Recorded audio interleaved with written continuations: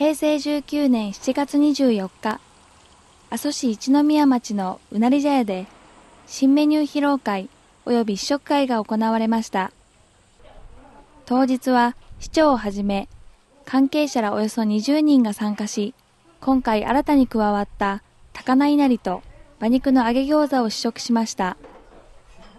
新メニューはそれぞれ特産品を使用しており、中でも馬肉の揚げ餃子は、